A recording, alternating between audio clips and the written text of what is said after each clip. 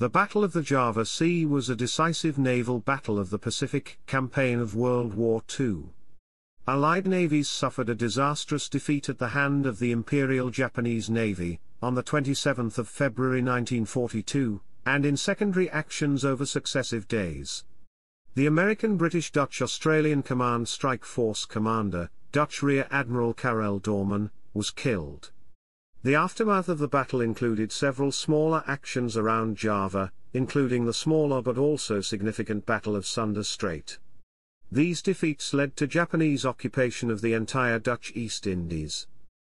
Chapter 1 Background The Japanese invasion of the Dutch East Indies progressed at a rapid pace as they advanced from their Palau Islands colony and captured bases in Sarawak and the southern Philippines. They seized bases in eastern Borneo and in northern Celebes while troop convoys, screened by destroyers and cruisers with air support provided by swarms of fighters operating from captured bases, steamed southward through the Makassar Strait and into the Molucca Sea. To oppose these invading forces was a small force, consisting of Dutch, American, British and Australian warships many of them of World War I vintage, initially under the command of American Admiral Thomas C. Hart. On the 23rd of January 1942, a force of four American destroyers attacked a Japanese invasion convoy in Makassar Strait as it approached Balikpapan in Borneo. On the 13th of February, the Allies fought unsuccessfully, in the Battle of Palembang, to prevent the Japanese from capturing the major oil port in eastern Sumatra. On the night of 19-20th of February, an Allied force attacked the Eastern Invasion Force off Bali in the Battle of Badung Strait. Also on the 19th of February, the Japanese made two air raids on Darwin, on the Australian mainland, one from carrier-based planes and the other by land-based planes. The destruction of Darwin rendered it useless as a supply and naval base to support operations in the East Indies. Chapter 2 Battle the Japanese amphibious forces gathered to strike at Java, and on the 27th of February 1942, the main Allied naval force, under Doorman, sailed northeast from Surabaya to intercept a convoy of the Eastern Invasion Force approaching from the Makassar Strait. The Eastern Strike Force, as it was known, consisted of two heavy cruisers, three light cruisers, and nine destroyers. The Japanese task force protecting the convoy, commanded by Rear Admiral Takeo Takagi, consisted of two heavy and two light cruisers and 14 destroyers including the 4th Destroyer Squadron under the command of Rear Admiral Shoji Nishimura. The Japanese heavy cruisers were much more powerful, armed with 10 8-inch guns each, and superb torpedoes. By comparison, Exeter was armed only with six 8-inch guns and only six of Houston's nine 8-inch guns remained operable after her aft turret had been knocked out in an earlier air attack. The Allied force engaged the Japanese in the Java Sea, and the battle raged intermittently from mid-afternoon to midnight, as the Allies tried to reach and attack the troop transports of the Java invasion fleet, but they were repulsed by superior firepower. The Allies had local air superiority during the daylight hours, because Japanese air power could not reach the fleet in the bad weather. The weather also hindered communications, making cooperation between the many allied parties involved, in reconnaissance, air cover and fleet headquarters, even worse than it already was. The Japanese also jammed the radio frequencies. Exeter was the only ship in the battle equipped with radar, an emerging technology at the time. The battle consisted of a series of attempts over a seven-hour period by Doorman's combined striking force to reach and attack the invasion convoy, each was rebuffed by the escort force with heavy losses being inflicted on the Allies. The fleets sighted each other at about 1600 hours on the 27th of February and closed to firing range, opening fire at 1616. Both sides exhibited poor gunnery and torpedo skills during this phase of the battle. Despite her recent refit, Exeter's shells did not come close to the Japanese ships, while Houston only managed to achieve a straddle on one of the opposing cruisers. The only notable result of the initial gunnery exchange was Exeter being critically damaged by a hit in the boiler room from an 8-inch shell. The ship then limped away to Surabaya, escorted by de With. The Japanese launched two huge torpedo salvos, consisting of 92 torpedoes in all, but scored only one hit, on Kortenaer. She was struck by a long lance, broke in two and sank rapidly after the hit. Electra, covering Exeter, engaged in a duel with Jintsu and Asagumo, scoring several hits but suffering severe damage to her superstructure. After a serious fire started on Electra and her remaining turret ran out of ammunition, abandon ship was ordered. On the Japanese side, only Asagumo was forced to retire because of damage.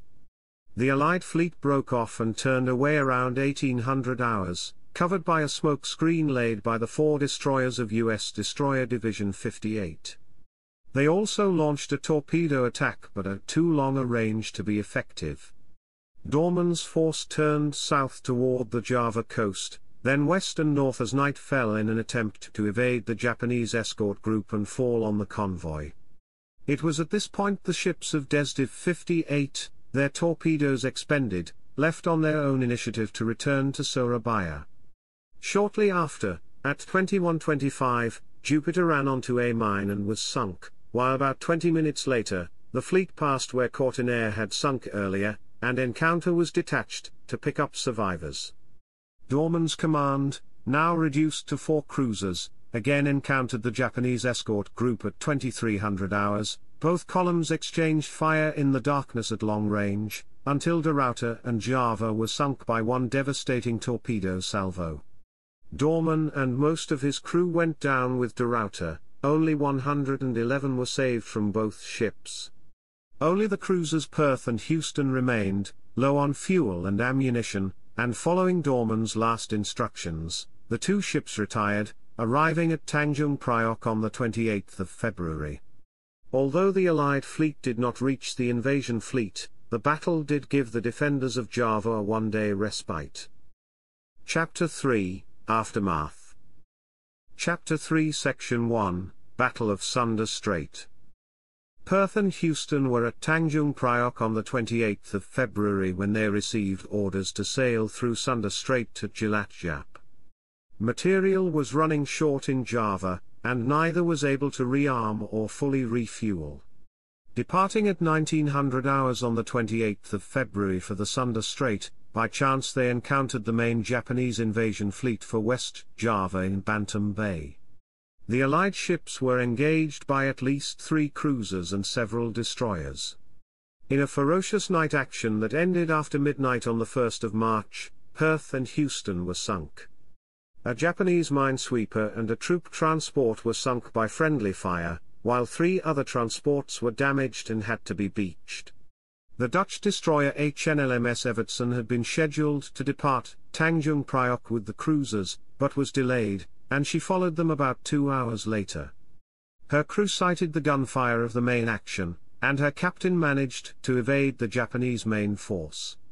However, Evertsen was then engaged by two Japanese destroyers in the strait, and on fire and in a sinking condition, grounded herself on a reef near Sebuku Island.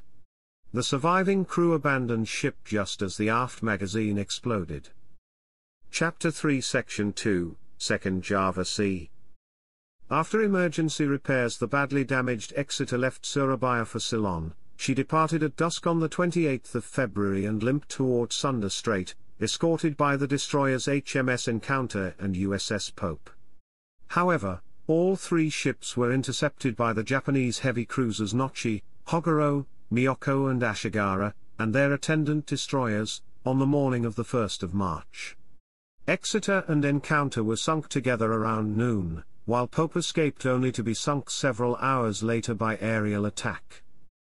Chapter 3 Section 3 Bali Strait The four U.S. destroyers of Desdiv 58, John D. Edwards, John D. Ford, Alden, and Paul Jones, were also at Surabaya, they left for Australia via the harbour's shallow eastern entrance at nightfall on the 28th of February.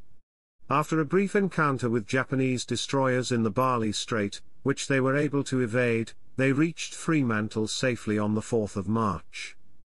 Chapter 3 Section 4 Consequences Another Dutch destroyer and three American ships were either scuttled or sunk as they attempted to escape to Australia. The main Abda naval force had been almost totally destroyed, 10 ships and approximately 2,173 sailors had been lost. The Battle of the Java Sea ended significant Allied naval operations in Southeast Asia in 1942, and Japanese land forces invaded Java on the 28th of February. The Dutch surface fleet was practically eradicated from Asian waters, and the Netherlands would never reclaim full control of its colony. The Japanese now controlled one of the most important food-producing regions, and by conquering the Dutch East Indies, Japan also controlled the fourth largest oil-producing area in the world in 1940. The US and Royal Air Force retreated to Australia. Dutch troops, aided by British remnants, fought fiercely for a week. In the campaign the Japanese executed many Allied POWs and sympathizing Indonesians. Eventually, the Japanese won this decisive battle of attrition and Abda forces surrendered on the 9th of March. Chapter 4 Wrecks As of 2002 the location of the wreck of only one of the eight ships sunk during the two so-called Java Sea battles, HMS Jupiter, was known and plotted on an Admiralty chart. However, Given her location in very shallow water so close to shore she had already been heavily salvaged. In December 2002 the wrecks of HNLMS Java and HNLMS Ruyter were discovered by a specialist wreck diving group aboard the dive vessel MV Empress.